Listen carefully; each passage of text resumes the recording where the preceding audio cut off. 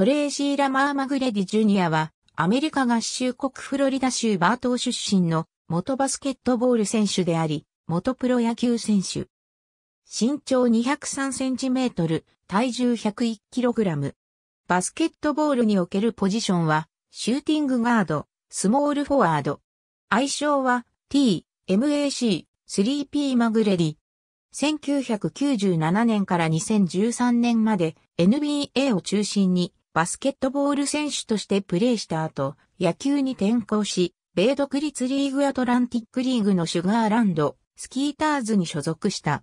アメリカ合衆国フロリダ州バトーで生まれ、オーバーアンデールで育つ。ノースカロライナ州のマウントジオンクリスチャンアカデミー、高校出身。高校のジュニア時代にバスケットボール選手として USA Today 氏の選ぶ年間最優秀選手のタイトルを受賞。高校4年生の時には USA Today とノースカロライナ州から年間最優秀選手に選ばれた。マグレディは高校在学中、ケンタッキー大学に進学するつもりであったが、高校時代の活躍により NBA の目に留まり、進学は止めて NBA 入りを決める。1997年の NBA ドラフトでトロントラプターズから1巡目9位で指名を受け、NBA 入りする。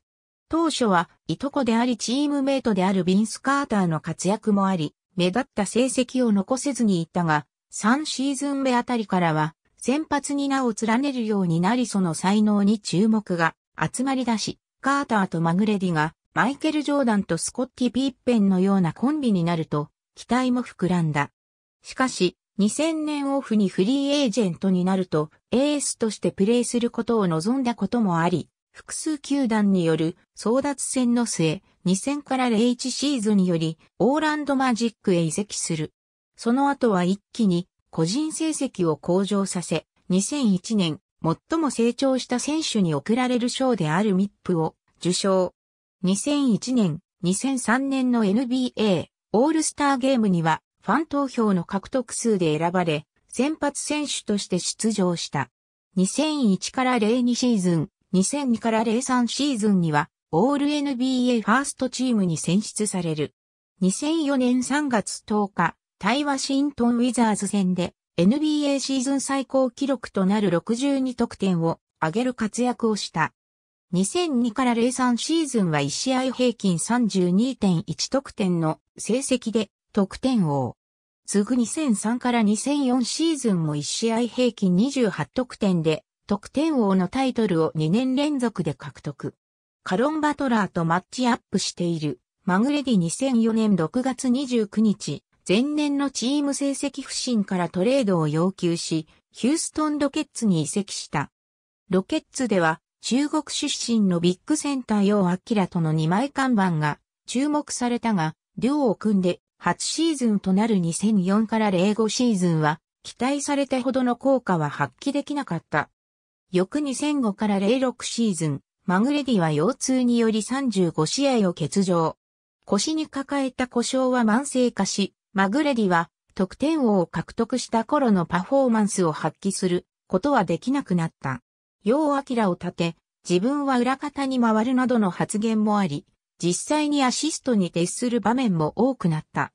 しかし2006から07シーズン中に、ヨウアキラが骨折により長期離脱すると、腰の痛みに苦しみながらもチームを支え、ロケッツは52勝30敗の好成績を収めて、プレーオフに進出した。しかしプレーオフでは1回戦で、ユタジャズに敗れた。2007から08シーズンもマグレディと、ヨウ・アキラは、怪我に苦しんだ。監督が、ジェフ・バンガンディからリック・アデルマンに交代し、補強も進んだロケッツはシーズン前から評判が高かったが、マグレディの欠場が響き、シーズン前半は苦戦を強いられた。そして、シーズン中盤には、ヨウ・アキラが左足の骨折でシーズン残りをリタイア。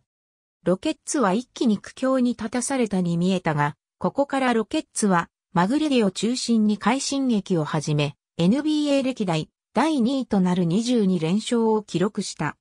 マグレディ自身はここ8シーズンで自己最低となる平均21.6得点に終わったが、ロケッツが記録した連勝記録はこのシーズンリーグを最も驚かせた事件の一つとなった。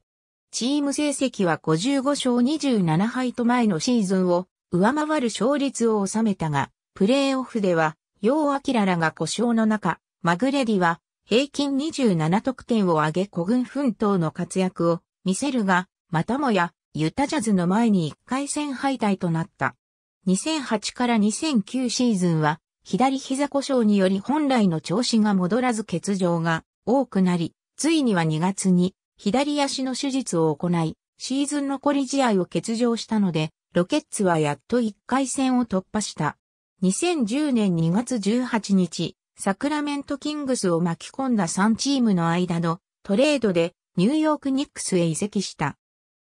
移籍後初めての試合では、マグレディは先発起用され、26得点5リバウンド、4アシストを記録。2009年2月以来の20得点オーバーの活躍を見せた。復活の兆しが見えかけたが、再び膝の不調を訴えて、自己最低の30試合の出場でシーズンを終えた。2009から10シーズン後、FA となったマグレディは2010年8月、デトロイトピストンズとベテランズミニマム契約を結んだ。2011年12月、アトランタホークスとベテラン最低年俸で契約を結んだ。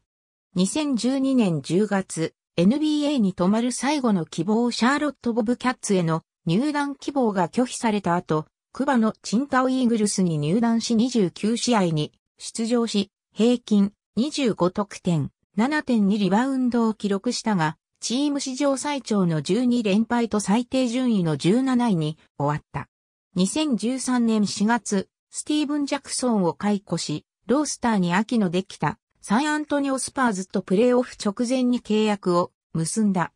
2013年8月16日、NBA からの引退を発表した。自身のツイッターに16シーズンにわたる NBA 生活7度のオールスター出場、そして数々のエキサイティングな瞬間を支えてくれたみんなにありがとうと言いたいとのメッセージを投稿。NBA 引退。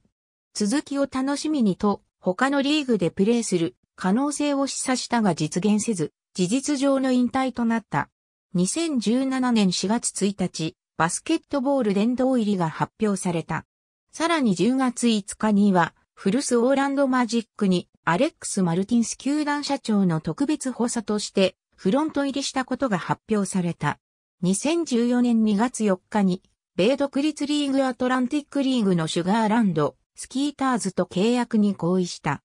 同年5月10日、アメリカ独立リーグのサマセット戦に先発投手で試合出場した。リーグのオールスターにも選出され、7月16日に行われたオールスターゲームでは1回1、3を投げ、最後の打者からは野球転向後初めての三振を奪った。試合終了後、マクレディは野球からの引退を明らかにした。マグレディは公式戦では4試合で合計6回に3を投げ、4安打5失点の成績であった。高い得点能力を誇るスコアラー。前世紀には8年連続平均20得点以上を記録し、得点王にも2回輝いた。1対1のオフェンス能力は非常に高く、攻撃のバリエーションも豊富。フェイクからのペネトレート、フェイダウェイ、ピボットワークなどを駆使してディフェンスを翻弄し、相手がファウルすれば、驚異的なボディバランスでバスケットカウントをもらう。また優れた跳躍力と長いウィングスパンを活かしたダンクは NBA でも屈指のものである。パスもうまく、2001シーズンから2008-09までアシストのシーズンアベレージは4本を超えていた。また、試合終盤に勝敗を決定づける重要な得点を決めることができる、いわゆるクラッチシューターでもある。その最も象徴的な例が2004年12月9日のサンアントニオスパーズ戦であり、残り時間35秒から4連続で3点シュートを決めて13得点を上げ歴史に残る大逆転劇の立役者となった。なお、当時リーグ屈指のディフェンダーであったブルース・ボーエンがマークについていたにもかかわらず、この時の神がかっていたマグレディを止めることはできなかったことも特筆に値する。一方で、ヨーアキラをはじめとした強力なチームメイトを要しながら、キャリアを通じてプレーオフ1回戦突破したのは途中加入した2012から13シーズンのサンアントニオスパーズ時代だけしかなく、その時も出場機会はほとんどなかった。2009年2月に左膝を手術して以降、故障者リストの常連化しており、個人成績も下降線をたどってしまい、晩年は衰えを隠せなかった。203センチメートルの長身から投げ下ろすストレートを武器とするほか、ナックルボール、スライダー、チェンジアップ。basketball-refrence.com ファット basketball-refrence.com ありがとうございます。